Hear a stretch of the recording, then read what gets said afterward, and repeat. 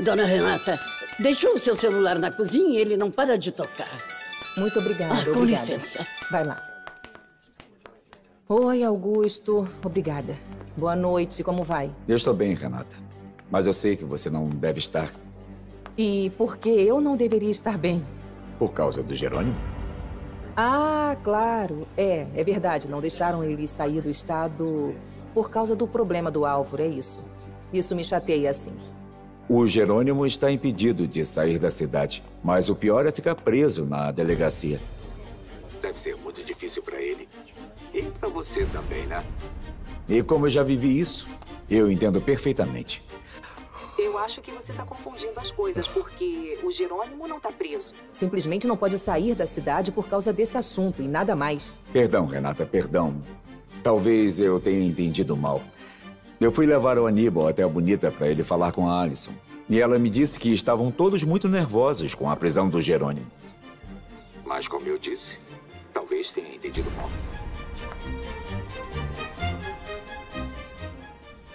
Bom, a história da Aurora nós soubemos pelo Ezequiel. A do Sarmento foi pelo Álvaro, mas o Ezequiel confirmou. Hum, depois de tudo que soubemos do Ezequiel, talvez não fosse o homem digno que nós achávamos, mas. Isso não significa que o Augusto não seja um imbecil. Ah, É. Agora, a Selena me disse que o Augusto e a Roberta eram amantes.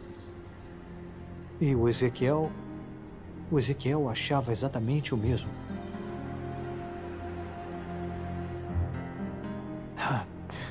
É, Renata, vou ter que te contar que o Augusto Duran foi capaz até de se envolver com a sua irmã.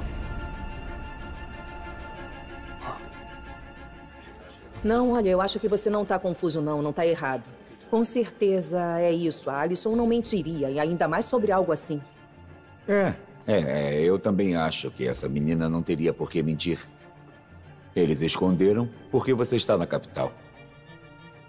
Eu estou cometendo uma indiscrição, mas eu fiquei preocupado e não hesitei em te ligar para oferecer ajuda.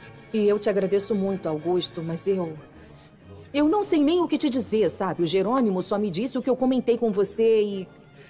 Claro, tem muita lógica. É por isso que cai direto na caixa postal quando ligo pro celular dele. E na bonita ninguém quer me dizer onde ele tá. Obviamente, é por isso. Renata quer que eu mande um advogado para tentar soltá-lo.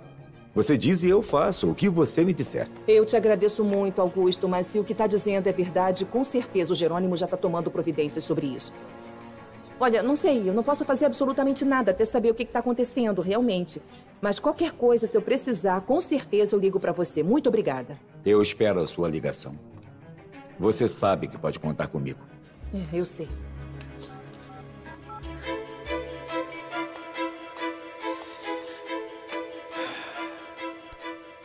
Não tem jeito, Renata. Para que você só tenha olhos para mim, eu não tenho outra opção senão tirar o Jerônimo da sua vida definitivamente.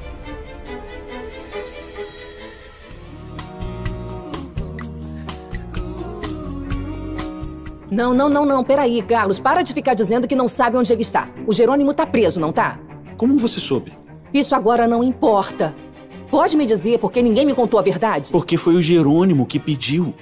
Ele não queria estragar o casamento do seu pai. Essa maldita mania que ele tem de me esconder as coisas. Eu não entendo por quê. Eu sempre prefiro a verdade e tem mais. Se eu tivesse sabido, teria pegado o primeiro voo depois do casamento, caramba. Renata, escuta, dentro do possível, o Jerônimo está bem. Infelizmente, vai ter que permanecer pelo menos 72 horas na delegacia. Então, se voltar amanhã, vai poder vê-lo. Me desculpa, Carlos. Acontece que eu entendo por que fizeram isso, entendo por que me esconderam isso, mas eu prefiro a verdade, entendeu? Então me diz, o que vai acontecer depois dessas 72 horas? Ele vai ficar livre, inocentado de tudo? Eu imagino que sim. Melhor que seja assim, porque eu quero meu marido livre e sem nenhuma acusação. Todos esperamos o mesmo. O advogado já está cuidando disso. Eu acho muito bom. Acho muito bom que soltem meu marido, porque senão eu vou até lá, arranco ele, eu sou capaz de mover céus e terras. Você escutou? Ok. Apesar da cerimônia ter sido tumultuada, Regina, finalmente, estamos casados de papel passado. Sim.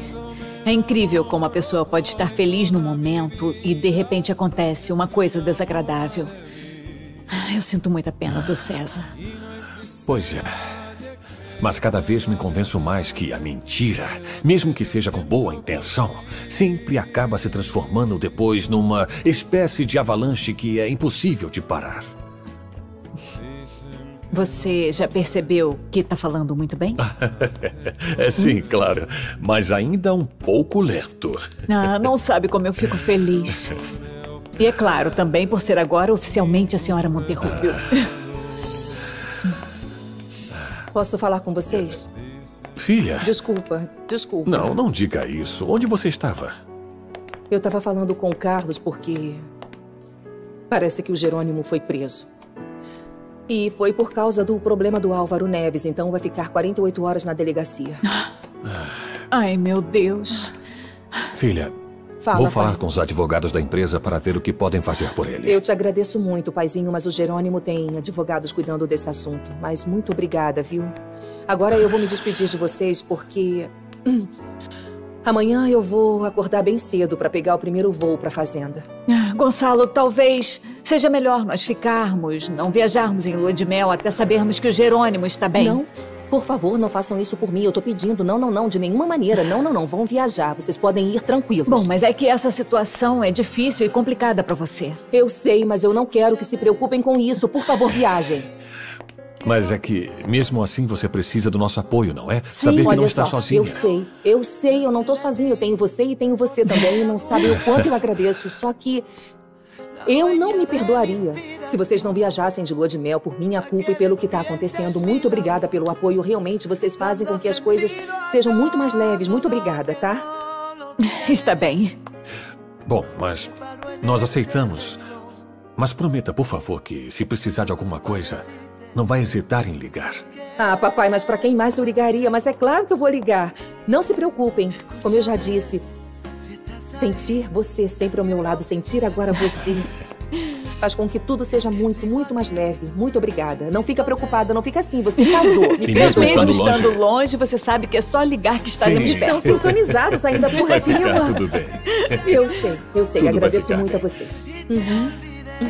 E é como você disse. O Jerônimo não tem culpa dessa situação. Pai, eu sei, eu sei. Eu sei que tudo vai se resolver e que ele vai ficar muito bem. Não se preocupe. É só que. Ai, me incomoda, sabe? Me incomoda que mintam pra mim, me incomoda que todo esse assunto do Álvaro continue nos afetando. Me incomoda! Mas eu tô bem. Me perdoem, por favor, é o casamento de vocês. Ai, por favor, me perdoem. Mas por que você não me disse a verdade, Jerônimo? Eu deveria estar aí com você. Não quero nem imaginar o que você tá passando nessa cela sozinho, sabia? Como eu queria te abraçar, eu queria estar aí com você, fazer você sentir que eu tô com você, que eu tô ao seu lado, que eu tô com você. Ah, meu amor. Sente tanto a minha falta quanto eu sinto a sua? Ah, como eu queria estar ao seu lado. Ah, eu tô sofrendo. Tô sofrendo, Renata. Eu preciso de você. Não sei o que eu vou fazer, mas eu vou tirar você daí, Jerônimo. Te juro que vou tirar você daí. Eu juro. Porque me llenas la vida de vida.